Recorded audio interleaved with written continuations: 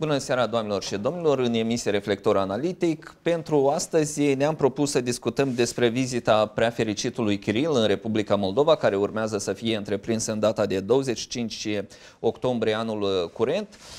Aceste aspecte, dar și altele vom încerca să le abordăm împreună cu Valentin Beniuc, rector IRIM. Bună seara și bine ați venit, domnule Beniuc. Bună seara.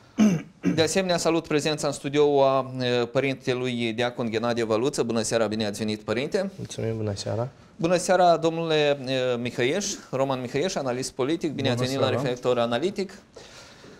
Domnilor, haideți să începem cu un aspect generalist pentru a explica celor care ne vizionează la această oră care este scopul unei asemenea vizite în Republica Moldova și dacă ea poate fi calificată ca o vizită istorică. Dacă ar fi să facem o retrospectivă, cred că prea fericitul Kiril se află pentru a treia oară în Republica Moldova. Domnul Beniuc, din contextul relațiilor internaționale și în contextul unei asemenea vizite, cum poate fi ea catalogată?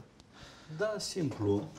Biserica ca și statele sunt în în uh, relații de colaborare sau de conflict în toată lumea și ele au uh, o diplomație, dar mai specifică, au negocieri, au întâlniri, de asemenea cum au reprezentanții statelor. Deci este ceva normal uh, și poate că și este necesar, mai ales în situația și în conotația de astăzi, când are loc probleme foarte serioase în acest areal, Uh, când se încalcă, uh, mă rog, de către biserica, am în vedere de către biserica uh, din Ucraina parțial, se încalcă canoanele în relațiile între biserici și fapt care produce conflict.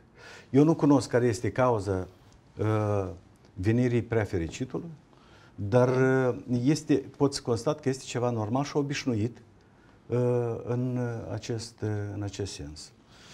Părinte, haideți să explicăm uh, celor care ne vizionează, iată, cât este de firesc ca uh, să vină un, un patriarh într-o anumită zonă subordonată canonic și care ar trebui să fie așteptările noastre, pentru că în culisie se tot discută și se interpretează la greu, de fapt, această vizită. Bună seara tuturor, eu da. Vă mulțumesc de invitație și vreau să vă spun că nu este nimic de mirare, pentru că noi fiind în zona canonică a Marii Biserici Patriarhiei Moscova între Rusii, și firesc superiorul nostru păstor să ne cerceteze, să ne viziteze și de dorit și mai des. Bine, este spațiu extrem de mare, comparat cu celelalte patriarhii. Nu există o asemenea patriarhie de voluminoasă ca cea Moscova între Rusii. Sigur că vizita lui are întâi un caracter pastoral misionar. Asta e principalul accent. Niciodată nu se exclude și aspectul disciplinatoriu și chiar și cel politico-social. Pentru că prezent... Dar biserica e la o interferență între ceea ce ziceți dumneavoastră, aspectul politico-social?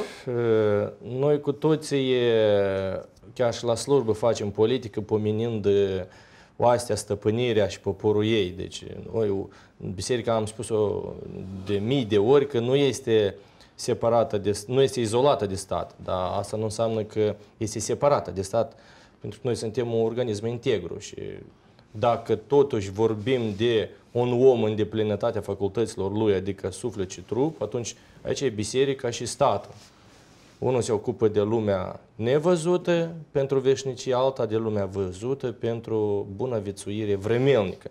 Și de aceea noi trebuie să avem o simbioză, o colaborare, punte de legătură. Morala este țin de biserică, dar uh, materia și uh, Părinte, dar există un eveniment care a generat, iată, necesitatea acestei vizite sau este ceva firesc în agenda prefericitului? Vizitarea diferitor zone.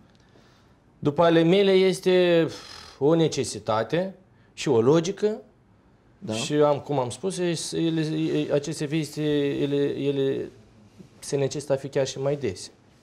Domnule Mihăieș, dumneavoastră, cum vedeți această vizită? Unde are loc simbioza între politic, social, necesitate?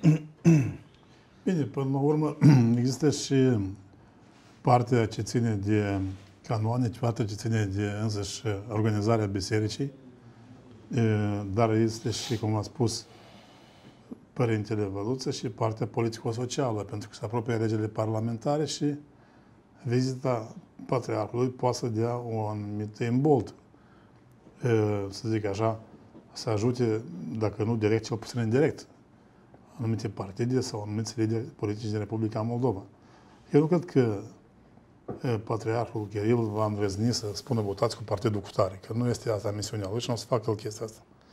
Da, vizita lui și ceea ce va urma, depinde cum va fi această vizită arătată în presă, depinde care va fi mesajele colaterale. Sunt foarte multe elemente aici, pentru că marea majoritate a moldovenilor de toate etniile sunt de credință ortodoxă, peste 90%, și unii țin de metropolia Basarabia, alții țin de metropolia Moldovei, dar până la urmă toți se vor uita foarte atent la Patriarhul Rusiei, ce va spune aici. Și care va fi retorica. Care va fi retorica, care vor fi chiar gesturile, pentru că aici totul contează. Și vom vedea, să rămâne să vedem.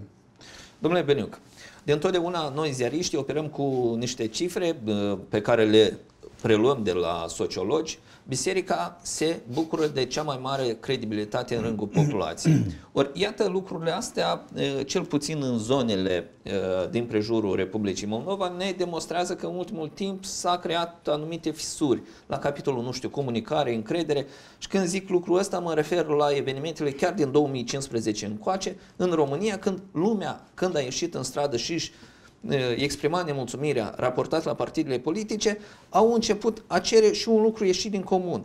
Demisia Patriarhului Daniel, ca să facem o legătură dintre gradul de credibilitate. Ce nu merge? De ce să ajunge aici? Se pune pe același talger politica, biserica, liderul politic, liderul religios? Iată, aici corect s-a menționat, cu toate că lucrurile astea nu prea sunt recunoscute, că politicul și biserica, ele nu merg mână-mână, dar ele sunt foarte... Există o interdependență. Este într-o oarecare măsură, dar, dar ele tangențează foarte serios în viața, cum am spus noi, social-politică. Este o, chiar și o tradiție istorică, mai ales în cealaltă biserică creștină, catolicism. Pentru că războiul de 30 de ani care au avut loc în Europa și s-a încheiat cu pacea de la Vestfalia în 1648, a precedat cu lupte foarte crâncine. Pentru că feudalii europeni ori erau protestanți, ori erau catolici clasici. Da? Și în sensul ăsta, pe fonul ăsta fundalul religios, ea duceau lupte grele pentru cuceriri teritoriale, da. dar și pentru influență religioasă. În sensul ăsta, tradiția asta întotdeauna a fost. În genere, catolicismul este o biserică foarte expansionistă, foarte expansionistă. Și recurge câteodată la, la uh, instrumente extrem de uh, aprege, cum ar fi, de exemplu, războaiele. Cruciade.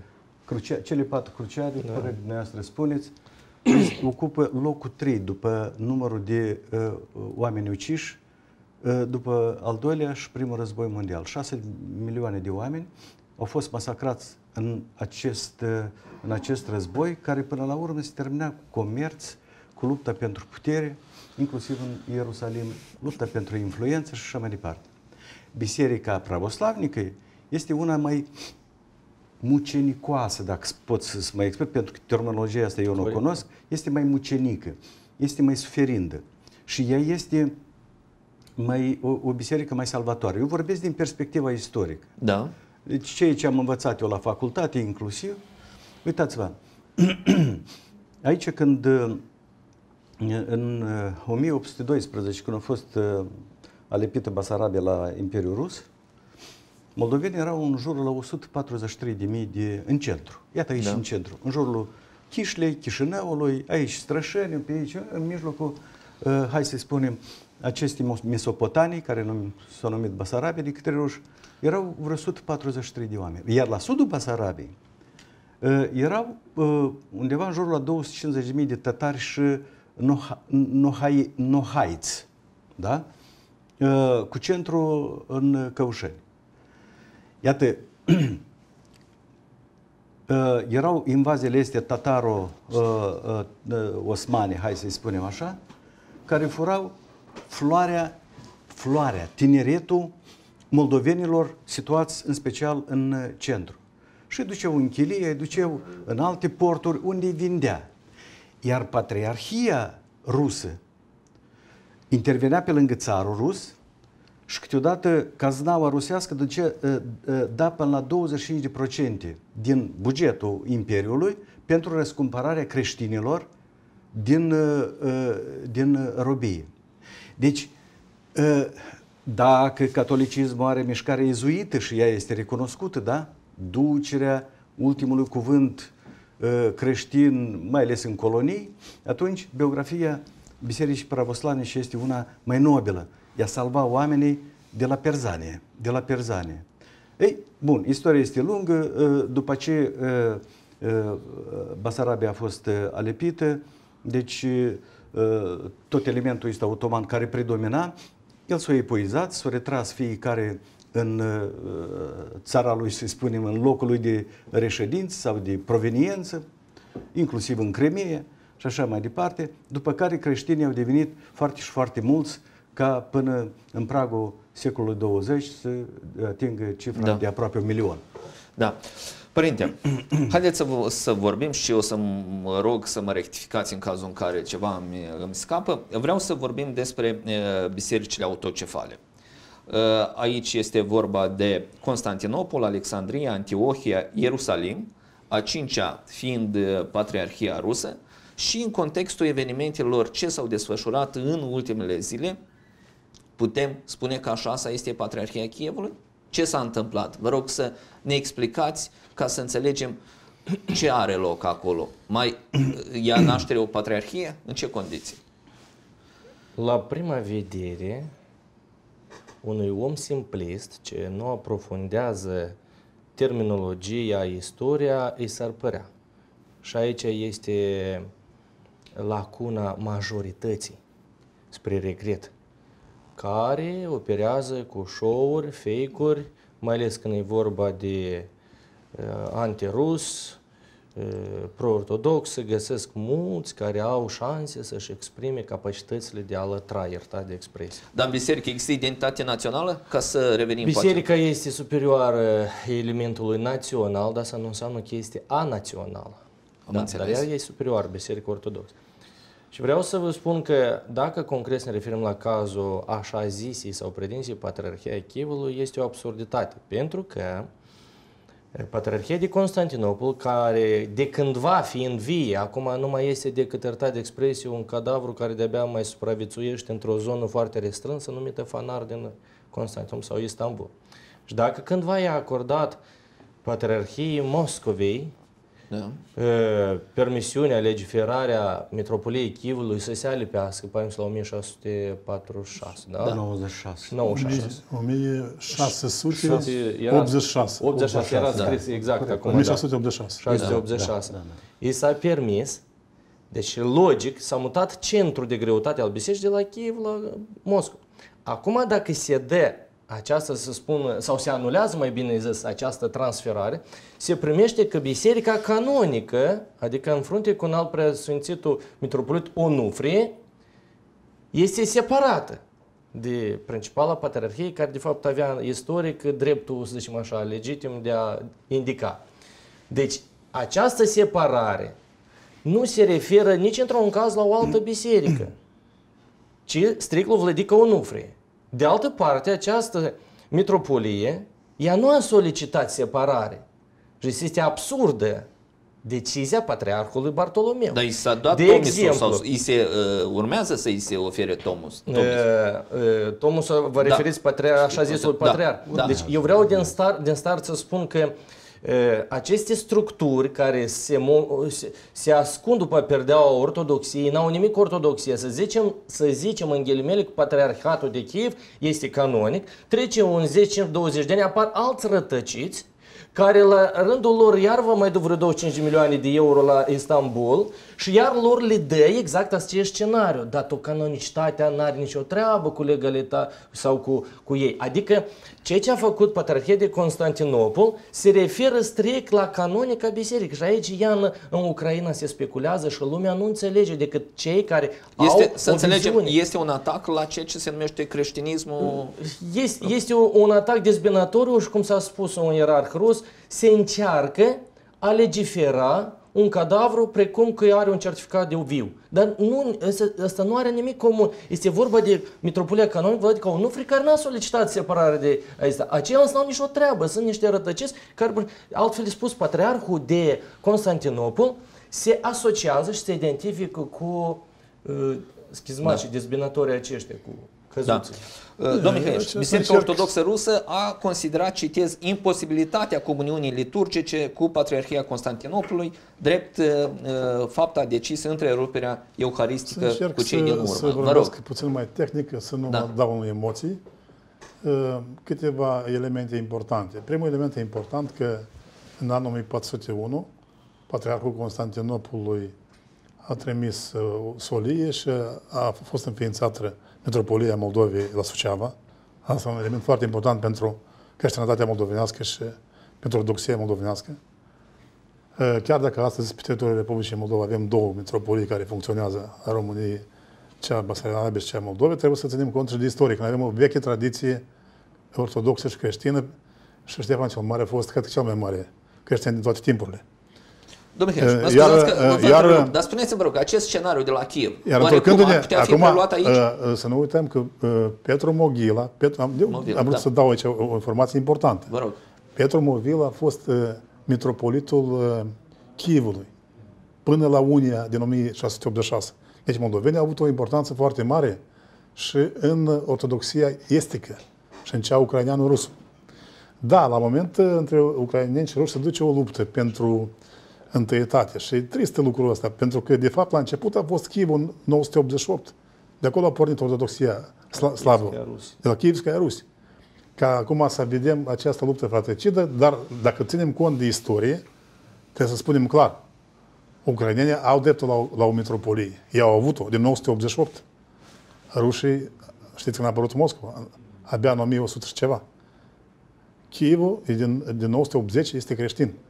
Și dacă privim din perspectiva istorică, trecă, cum a spus și patriarhul uh, de la uh, Constantinopol, uh, el a, făcut, a avut o formulă foarte elegantă acolo. În 1686 au fost așa timpurile, n-au mai intrat în detalii. Da. Și Ucraina uh, a pierdut atunci în favoarea Moscovei. Acum Ucraina și-a revenit ca stat, iar Biserica Ortodoxă se constituie pe națiuni. Apropo, ea este uh, de- deasupra popoarelor, dar este națională. Rusia are patriarhie, România are patriarhie, etc. Și atunci, uh, uh, mergând pe această teză, fiecare popoare ar trebui să, să aibă o patriarhie? Aici este o nuanță foarte importantă. Revin poate și la Uh, întrebarea mea cu Republica Moldova. Ați văzut rețelele de socializare? O se să dau vă răspund și la tot o întrebarea asta, părere. că este o întrebare crucială și o să discute foarte Da. mult timp. Uh, uh, În cazul Ucrainei o să fie o mitropolie, numai că uh, de ce s-a supărat Patriarhia Rusă, vă spun, pentru că mitropolia ucraineană o iau de sub ruș și o bagă sub, sub fanar. Deci nu o să fie patriarhie, o să fie mitropolie care să funcționeze în cadrul, Momeală, da. în, în cadrul Constantinopolului. Patriarhul de Constantinopol o să fie în, în, cel mai mare acolo. El o să, o să dicteze. Dar el încalcă canonii prin asta. Și a, de, asta, de asta între Constantinopol și Moscova, știți că Moscova s-a dorit a fi a treia Roma. Și atât că aici Constantinopol vine și intervine în, în treaba asta.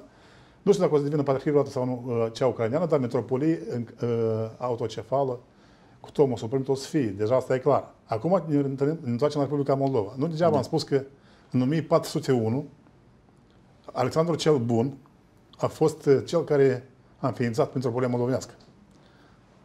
Uh, cu mare emoție vreau să spun că a fost distrusă. Chiar cu emoție spun chestia asta. Dar uh, sper că într-o zi să va discuta și acest subiect. Da. Domn Beniuc, uh, haideți să vedem, iată, se tot discută și poate uh, rămânem în albe a ceea ce îl întrebam pe, pe domnul Mihăieș. Uh, E posibil și în Republica Moldova de a tinde pentru a înființa o patriarhie sau întrebarea nici pe departe nu se pune Patriarhie așa? niciodată nu o să avem. Uh, Nici pe timpul lui Ștefan a fost patriarhie. A fost mitropolie de- ghidată de la Constantinopol. Da. Da. Deci aici s-a vorbit despre, despre uh, congruența asta politico-religioasă. Asta e cu părere de rău. Uh, și tradițiile astea sunt istorici, precum am încercat să argumentez. Și prelungind acest gând, uitați-vă, uh, atunci când s-a făcut Unia de la 1686, deci Ucraina ca stat nu era uh, și nu, uh, uh, nu putem face trimitere la Moldova, putem face trimitere pentru că ea a fost uh, Uh, un uh, stat, uh, iar Ștefan cel Mare, despre care dumneavoastră vorbise, era atletul lui Hristos, care sta în calea așa numitelor tuturorelilor, tuturorelilor și a necredincioșilor, bun, a osmanilor. Da. Deci noi avem o, o istorie într-adevăr falnică. Atunci Ucraina nu era, era o margine, o, o craină a, a, a Statul rus care era în creștere. Și nu, în, erau câteva da, regiuni ale Ucrainei, nu trebuie să spunem așa, care în 1686 ă, au intrat în componența statului rus ă, cu, cu anumite drepturi de autonomie. Absolut, absolut. Dar era o, o Ucraina care era ocupată... Era disputată de Polonia și, și Rusia, da, era o război absolut, Da, era ocupată de către polonezi, da. iar ă, și evident că polonezii erau promotorul Bisericii Catolice, bisericii catolice, da, în uh, această regiune. Și iată tradiția asta prin biserica greaco-catolică uh, vine spre acest uh, conflict, iată, de când uh, și domnul Mihai o menționat, uh, de la, de, la această, de la această perioadă. În 1612 Moscova este arsă de către polonezi, Ucraina uh, este partea cei din Nipru, uh, partea dreaptă, vreau să zic că este uh, ocupat, se inserționează biserica, uh, se încearcă să inserționa biserica catolică, nu se reușește și s-a încercat a face ambianța asta dintre Biserica Catolică și cea greacă, în zona asta a Ucrainei de vest, uh, care uh, mai apoi aduce la serioase conflicte. Eu vreau să vă spun că în 1650, undeva a doua jumătate a secolului 17, uh, a, în uh, mediul ăsta religios a apărut un, uh, o persoană extrem de istorică și importantă pentru analiză. Se numea el, uh, pentru mine el este un oarecare Cunțevici, uh, care er- era un promotor aprig, dar prin uh, război, da. sabie și sânge. Chievul era uh, în perioada asta ea spre m, unirea da, uh, uh, sub, uh, sub uh, Imperiul Rus în 1654, Chievul practic nu exista, era distrus ca oraș. În Domn- Kiev rămăsese 10.000 de locuitori. Acest Cunțevici care promova valorile non, Da. uh, deci el făcea lucrul ăsta prin, prin sabie și, și asta. Domnilor invitați, luăm o mică pauză, după aceea revenim în studio la discuție.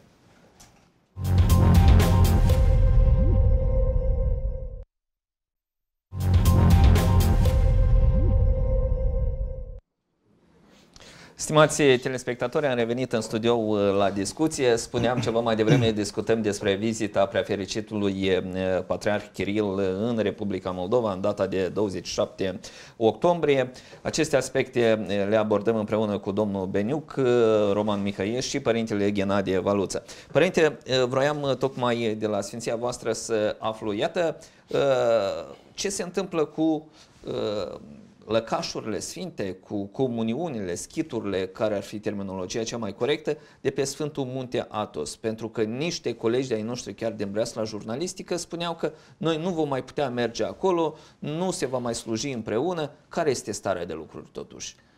Haideți să facem lumină. Mm, Bine, eu uh, vreau să vă spun că interdicția nu este în sens uh, mm, uh, total, adică noi avem posibilitatea să participăm la slujbele celorlalte mănăstiri, dar în ce sens?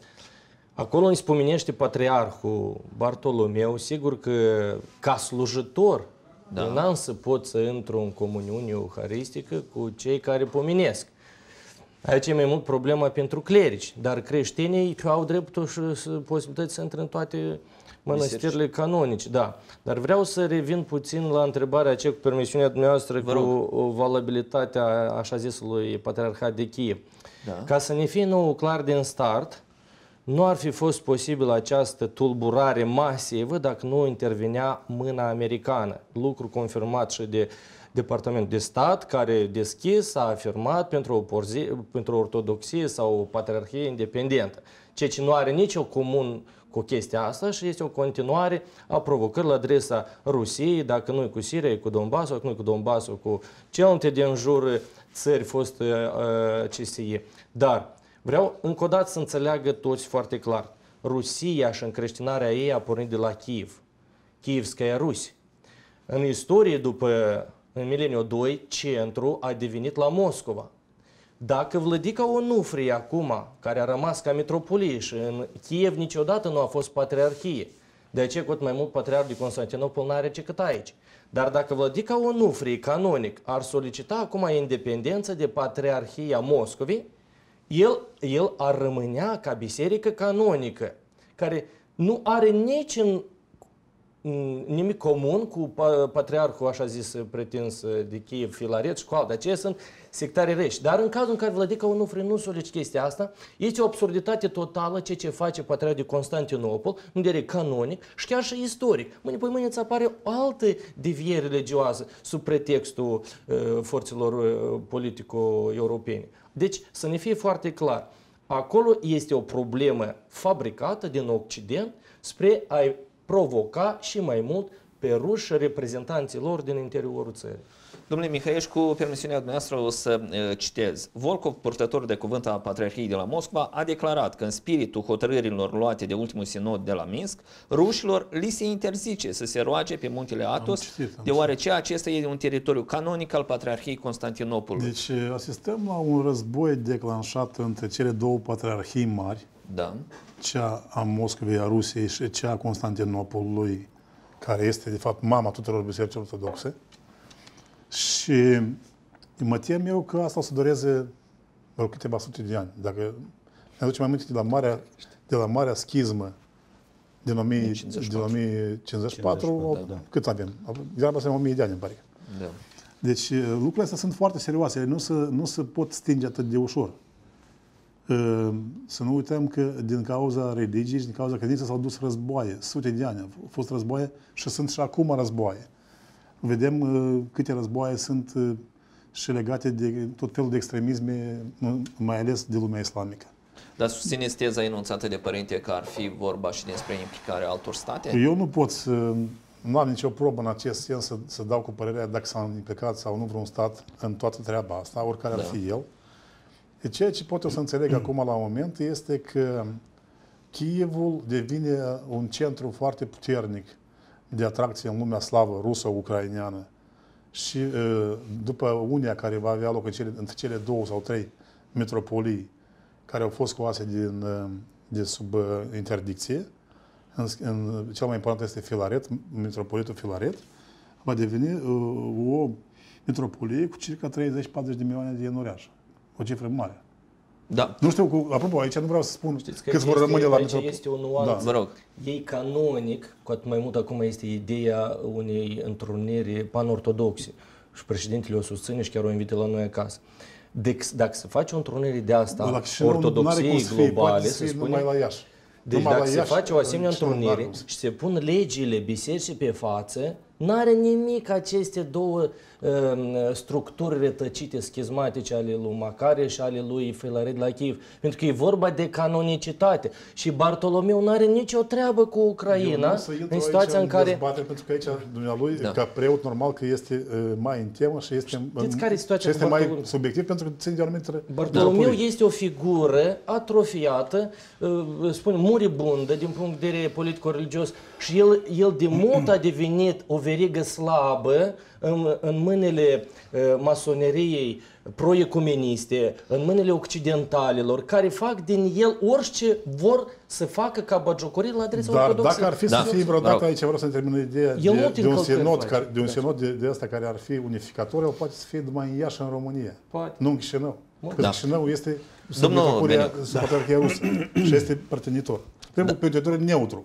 Teritoriu neutru pentru Minim am Constantinopol. amuzat propunerea președintelui Pentru- și zic că are Pentru, șanse. pe, eu aici și președintelui îi sugerez, pentru că metropolia Moldovei ține cea a Rusiei și nu o să, nu o să accepte niciodată Constantinopolul să vină la, la o discuție cu metro, în, pe un teritoriu canonic al Patriarhiei Rusiei. Dar în Iași, Patriarhia Română ar putea să ofere servicii de, cum să le spun eu, de mediere între Patriarhia Rusă și și cea a Constantinopolului. Aici ar fi mai real. Da. Eu, eu cred Domn doar Beniu. o, o mică nuanță că Patriarhia de Constantinopol, în special Patriarhul Bartolomeu, treptat se izolează și va fi declarat treptat de canoni, va fi luat în afara ortodoxiei.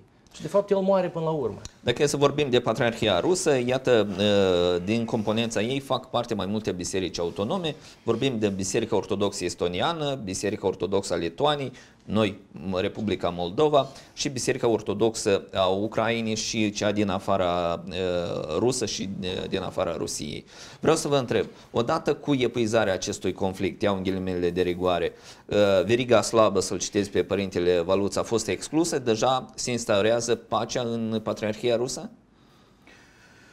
Uitați-vă, eu n-am reușit să-mi duc gândul până la cap. Eu, Chiar nu spuneți. uh, Vă rog să-mi permiteți, da. pentru că în Ucraina nu s-ar fi produs asemenea uh, învălmășală în sensul ăsta dacă nu era uh, Biserica uh, Greacă Cato- Catolică, care promovează în fond uh, alte canoane. Ea rămâne aceeași biserică, pravoslavnică. Uh, Enoriașii se consideră pravoslavnici, dar Biserica uh, Greaco-Catolică se supune papei de la Roma. Deci asta este, uh, asta este, cum s-ar spune, promotorul, acest factor este promotorul uh, bisericii în fond și influenței bisericii uh, uh, uh, uh, papaliste, hai să-i spunem așa, în uh, Ucraina. Și aici se amestecă foarte serios, se amestecă uh, politicul, pentru că Tomosul a fost solicitat de către președintele Ucrainei, de către domnul uh, Poroșenko, a fost solicitat. Nu cei din biserică au sol- uh, solicitat acest document, Deci, care este ia că unul aici e foarte... toată răspunsul. Politicul s-a Da, băgat. politicul. Uh, Tradiții în Ucraina sunt. Tradiții sunt foarte serioase. Nu avem timp ca să discutăm. Este o istorie destul de interesantă, dar asta este mediul în care se plăzmăiește acest uh, conflict. Eu sunt de acord că uh, Patriarhia de Constantinopol nu are influența cuvenită, pentru că ea are vreo două milioane de enoriași, mai puține biserici și mulți ani, cu părere de rău, eu spun lucrul ăsta. Mă rog, patriarhul a fost un funcționar în, în, în mâna sultanului. A fost și mai apoi încoace, da? A fost un funcționar. În genere, fanarul ne-a făcut foarte multe probleme la noi în istoria Moldovei, doar noi cunoaștem lucrul ăsta și iată, din acest fanar vine și această uh, eventuală schismă în Biserica uh, Pravoslavnică. Acum, uh, sunt 15 sau 16, ceva de felul ăsta, uh, patriarhii autocefalice uh, și este vorba probabil de convocarea, dacă eventual va avea loc în Moldova, a acestor patriarhii. Panortodoxi. Și nu este vorba de împăcarea cu cineva, uh, uh, în sensul ăsta care spune domnul Mihaieș, care eventual ar putea avea loc, uh, mă rog, și uh, inclusiv la Iași. Este o întâlnire între uh, autocefaliile, respective Biserica Alexandriană, Biserica uh, uh, uh, da. sârbă, bulgară, uh, română uh, și așa mai departe. Deci, eventual s-ar întâlni și ar uh, discuta ce, uh, ce se petrece. Care este, eventual, ar putea să aibă loc asemenea chestiune, a spomeni de veriga slabă, în, uh, în Moldova. Deci, uh, răul poate fi provocat uh, Oriunde. foarte ușor, pentru că, bine, și, și Patriarhia Română este oarecum, uh, uh, cum s-ar spune, se face vinovată de unele schizme chiar la noi aici, în Republica Moldova. Uh, și Patriarhia Rusă, eventual unii, unii care abordează foarte profesio- profesional din punct de vedere canonic acest lucru, chiar din uh, fețele bisericesc uh, ale bisericii uh, uh, din Moscova, vorbesc despre aceea că și Patriarhul Chiril ar fi produs acțiunea de schismă, acțiunea, de, uh, vreau să zic că întrerupând comunicarea exarhică dintre Constantinopol și Rusia. Pentru că aceasta, după câte înțeleg eu, ar putea face doar numai judecata bisericească, duhovnicească. Numai sinodul bisericii, da, bine ceva, că i-a făcut, în, i-a făcut că... în Minsk sinodul, da.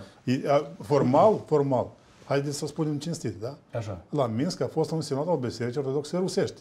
Și am impresia că la Chișinău tot a fost cineva prezent acolo. Metropolitul Vladimir. Vedeți? Nu, da. Și aici nu putem să spunem că decizia lor nu este una statutară. E statutară numai că ea nu este canonică. Pentru că întâia biserică este cea din Constantinopol constituită de Sfântul Andrei sau Apostolul Andrei, nu? Nu, e de acolo, în 383. La, la noi, de acolo s-a părut Biserica Ortodoxă. Da. Dar vreau de acolo luăm așa de la bază.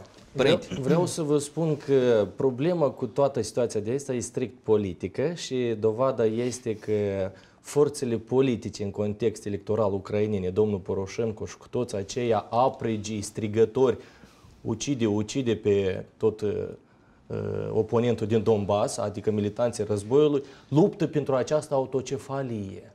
Autocefalie. Dar să vedeți că este o momeală. De ce? Pentru că chiar astăzi am văzut că Rada a consacrat una din cele mai mari și mai frumoase biserici din Kiev, Andreevski Mănăstări, fanarului, patriarhului. Ce înseamnă da. asta? Asta înseamnă că el deja și are reședința și nu o să mai vadă nicio fel de autocefalie.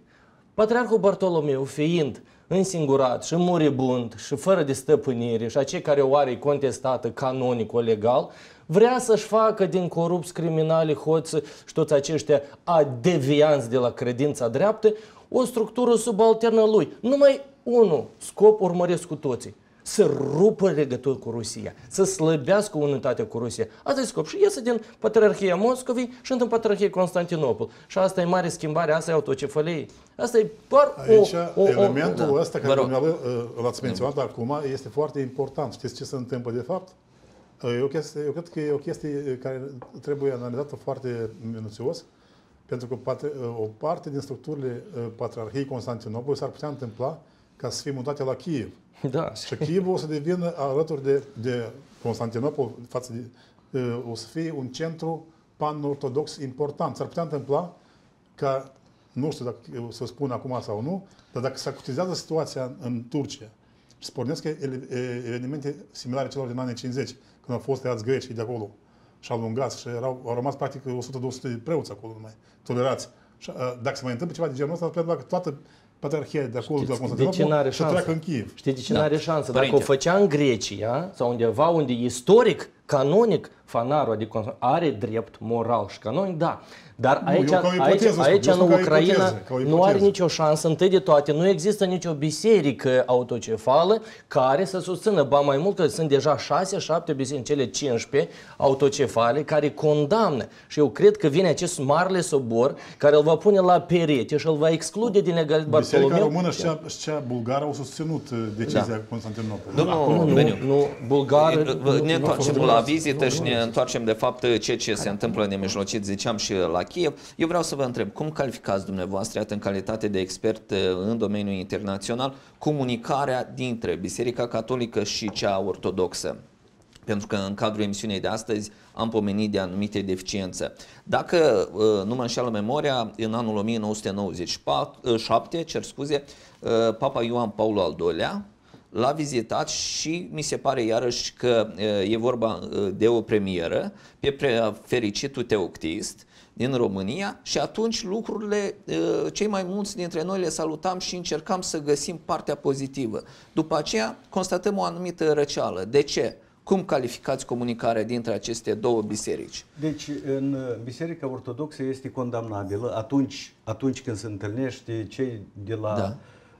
De la Roma, Biserica Catolică, cu, cu cei din Biserica Ortodoxă. Uh, dar au fost întâlniri și din partea Patriarhiei cu Papa de la Roma. Da. Asta ar fi fost, după schisma din 1054, ar fi calificat ca un fel de apropiere a bisericii în numele păcii, în numele conviețuirii. Deci, uh, mă rog, pentru noi creștinii simpli, asta ar fi pacea este ceva firesc, firesc și normal și părțile trebuie să... Pentru că la urma urmei, Biserica Catolică s-a rupt de uh, Biserica Pravoslavă, ea rupându-se în tendința ei de a domina toate bisericile în lume. De da. aceea este prima Roma, a doua, nu, Moscova spune că noi suntem a treia Romă și a patra nu va fi niciodată și noi vom domina. Bun, fiecare tinde de a influența, lupta pentru putere în, această, în acest mediu, în această zonă, deci nu este ceva condamnabil din perspectiva noastră, dar a bisericii, da, este, este condamnabil. Dar uitați-vă, care nu este problema că în Ucraina eventual ei vor primi autocefalia. Dar metodele prin care se fac lucrurile astea, vin doi exarhi, unul din Statele Unite ale și altul din, din, da, din Canada, și încep a negocia problemele astea cu Thomas și așa mai departe.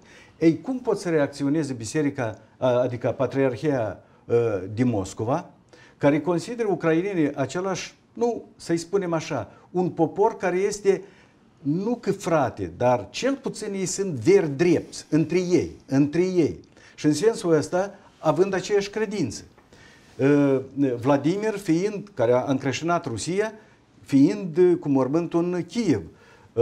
Este o problemă foarte mare în ceea ce privește lavra de Kiev, Piciorskaya da. lavra. Deci este o problemă extraordinară, pentru că asta este o perlă a credinței ortodoxe și extrem de importantă pentru Locurile sfinte ale, ale, da. ale ortodoxiei ruso-ucrainene s află la Kiev și mormântul lui Vladimir e la Kiev. Da, de acolo da, și-au pornit. Da. Biserică, Biserica unde fost, are... acolo da. unde este mormântat uh, uh, eu de ce am uh, spus despre Biserica Greco-Catolică, care joacă un rol extrem de nociv. Acolo, fiind în mormânt, această biserică unde este înmormântat Vladimir, creștinătorul Rusiei, da? Ea, Sfântul Cneaz Vladimir. Mai da. că n-a fost distrusă de către un alt mare, să spunem așa mai moldovenești, deetel al Bisericii Greco-Catolice, Șeptițchii, da? Ă, și așa mai departe, care a dat, ă, a dat jurământul nu numai lui Hitler, dar și lui Stalin. Deci sunt probleme foarte... Deci metoda cu care se face aceste, aceste lucruri este una nu numai că non-canonică, da. non-omenească chiar. Știți care e soluția? Nu, nu zadar îl întrebam pe domnul Beniuc despre capitolul comunicare și despre întâlnirea acestor doi lideri religios. Eu cu adresând-mă dumneavoastră, părinte, vreau să facem de asemenea o incursiune în istorie. Haideți să ne aducem aminte de anul 1992. Atunci, 91-92, atunci când era practic în plinătate ceea ce se numea evenimentele de redeșteptare națională. Actualul prefericit Daniel, patriarhul României, fiind atunci mitropolit al Moldovei, a avut o serie de întruniri cu actualul mitropolit Vladimir Cantarean, se părea că relațiile sunt ok, se, se urmează să fie implementate o serie de proiecte, până la urmă am avut anul trecut întrunirea prefericitului Daniel cu prefericitul Kiril, la care eu m-am așteptat, subiectiv vorbind, foarte multe, și nu s-a prea văzut rezultatele. Sunt, Vă rog, sunt, sunt. să continuați. Eu, în general, vreau să spun că soluția aici, dacă terminând cu da. tema Chievului, soluția ar fi foarte simplă, numai nu, ca, nu știu dacă este realistă. Da. Să revină centrul de greutate a Bisericii Ruse la Kiev și patriarhul să revină, dacă îi vor permite, cu reședința în Kiev. Și atunci au murit toată invazia aceasta otomano-fanarică a lui Bartolomeu, așa zisul preferit, că canonic el de mult nu mai este deja uh, în, în statutul ăsta. Dar, de Doamne să fie așa, că odată spunea Patriarh Kiril că pentru unitate eu sunt gata să iau ce ucrainească și să mă duc în Ucraina la Kiev. Și atunci s-ar rezolva. Problema e dezbinarea care o dorește Occidentul. Da, Ideea da. asta e foarte bună, pentru că toate locurile sfinte ale ortodoxiei ruso-ucrainene sunt la Kiev. Vladimir este la Kiev. Totul este la Kiev. Nimic nu este la Moscova. Deci, tot, de fapt, dacă să spunem așa sincer, Moscova este un produs al Kievului. Chievul, da. Cum, cum de exemplu, Chișinău sau București este un produs al Romei când Traian a ocupat Dacia. Așa, la fel, și chinezii ucraineni sau velicoruși, sau spuneți cum vreți, s-au mutat mai la nord și au construit în Moscova, etc.